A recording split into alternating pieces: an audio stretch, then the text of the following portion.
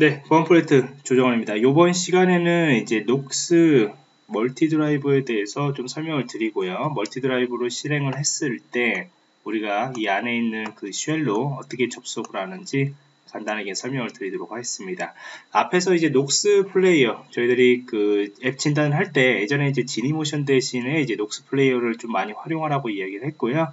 그 지니모션 같은 경우에는 예전에 녹스 플레이어 같은 경우에는 이제 멀티 드라이브라는 것이 없었어요. 근데 최신 버전 기준으로 해서 계속 개선이 되면서 지금 이제 멀티 드라이브를 충분히 활용을 하면은 여러분들이 이전에 이제 지니모션이나 그런 것들을 활용을 했을 때 그런 멀티 플레이어, 멀티 플레이어 같은 경우를 어, 충분히 더 활용할 수 있고 좀 더더 더, 어, 여러분들이 간단하게 여러분들이 이용을 할 수가 있습니다.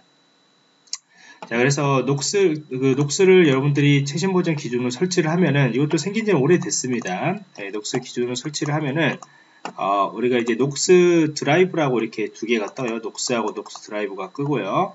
그 다음에 이제 녹스는, 녹스 플레이어는 여러분들 앞에서 설명했듯이 이렇게 플레이어를 진행을 하시면 되고, 그 다음에 이제 멀티 드라이브를 어, 실행을 하시면은 이런 환경이 하나가 나옵니다. 이런 환경이 나옵니다. 그래서 어, 최근에 이제 그 녹스를 이용해서 어떤 게임들을 되게 많이 이렇게 뭐 이렇게 리니지 같은 경우들 리니지 M 그 M M이죠? 리니지 M인가 제가 게임을 많이 안 해서요. 이런 것들이 생기면서 이제 해외에서도 이런 녹스 플레이를 많이 사용하고 있더라고요. 특히 멀티앱 플레이어. 여기다가 이제 매크로를 지정을 해가지고 이제 게임 같은 경우에도 매크로 방식으로 이렇게 하는 것들 요것들을 많이 사용을 하고 있더라고 보니까요. 자 그래서 여기에 보면은 이제 뭐 대량 조작 네, 이런 것들 그다음 멀티 설정, 멀티 정렬 뭐 이런 이야기가 있고요. 우리들이 사용할 것은 이제 앱 플레이어 추가라고 있습니다. 여러분들이 처음에 시작을 하면은 이 녹스 플레이어 딱 하나만 나올 거예요. 기본적으로 생성한 이 녹스 플레이어 하나 나오는 것이고요. 그 다음에 앱 플레이어 추가를 누르시면은 기존 것들, 그 다음에 복사했던 것들, 복사했던 녹스 플레이어 요것들을 이렇게 뽑을 수가 있습니다. 이게 어떤 거냐면은 초기 앱 플레이어 같은 경우에는 요거를 처음 했을 때 요 기반, 요 기반이죠.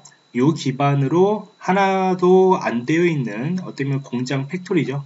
예, 공장 factory, 녹스에서 된 공장 factory라고 보시면 될 것 같습니다. 아, 뭐, 아니, 이거 factory 초기화라고 이야기를 하죠.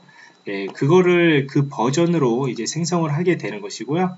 그 다음에 이제 복사라고 한다는 것은 어떤 거냐면 제가 여기다가 앱을 지금 현재 여러 가지들을 설정을 해놨잖아요.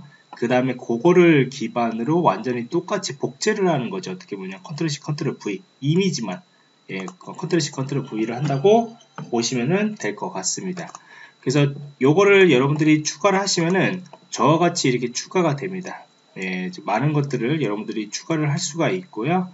그 다음에 여기 보면 이제 실행이라고 있죠. 예, 실행이라고 있고 또 백업이나 복원이라는 것들도 있습니다. 그래서 누르시면은 뭐 백업을 하냐, 복원을 하냐, 어떻게 보면은 snapshot을 찍는다고 보시면 되죠. 그러니까 예전에 지니모션 같은 경우에는 어, 스냅샷 기간이나 그런 것들을 하려면은 어, 유료로 사용해야 하는 거거든요. 유료로 사용하는데 지금 녹스 플레이 같은 경우에는 뭐 이렇게 유료로 사용하지 않더라도 어, 굉장히 어, 좋은 기능들이 많이 있다는 것을 볼 수가 있습니다. 그래서 플레이어를 하시면은 이제 또 다른 녹스가 이렇게 실행 이 녹스 플레이어가 이렇게 실행이 되는 것을 볼 수가 있습니다. 두 개.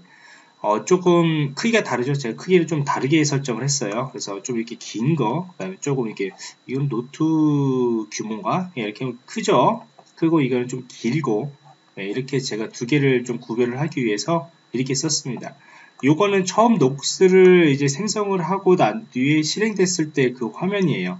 거의 초기화 화면이죠. 요거는 제가 이제까지 좀 작업을 한다고 이것저것 설치했던 그런 화면인 것이고요.